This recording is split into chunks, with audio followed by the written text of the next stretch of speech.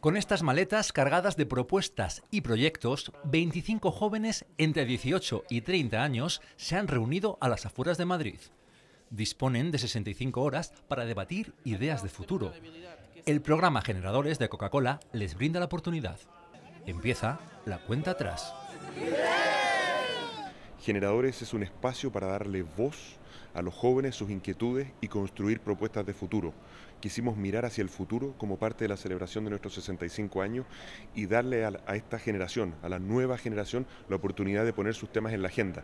Los jóvenes forman un grupo representativo de la geografía española y proceden de distintos ámbitos profesionales. Yo creo que con frecuencia se les ve como sujetos pasivos y, y Coca-Cola los pone en el centro, les escucha les da un marco de convivencia y de conexión política para que sean agentes de cambio. Donde los jóvenes van a poder conocerse, van a poder eh, compartir sus inquietudes y van a poder, eh, en definitiva, proponer eh, ideas y proponer iniciativas que cambien las inquietudes o que cambien las cosas que ellos consideran que deben cambiarse.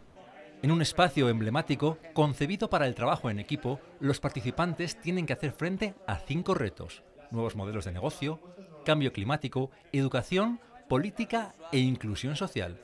Además, han recibido la visita de ponentes destacados como Juan Verde, estratega internacional y ex asesor de Obama, y el joven emprendedor Alex Sicard, que han compartido su experiencia y conocimiento.